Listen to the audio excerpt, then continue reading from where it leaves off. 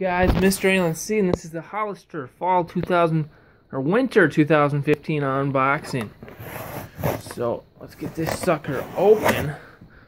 Had to use my because I only got two hands here. Figured you'd want to see the unboxing. All right, what do we got? For winter, they always go with darker shirts, which is fine. I used to get mad about that, but first we have this stylish Hollister shirt the blue slash and the small logo and look at the shirt. Awesome color. Next we have this dark one. Now there's more to this than what you see here. We're going to open it up and show you. Next we have this large oh yeah I love it large logo Hollister shirt. I haven't had one with this big a logo I don't know if ever.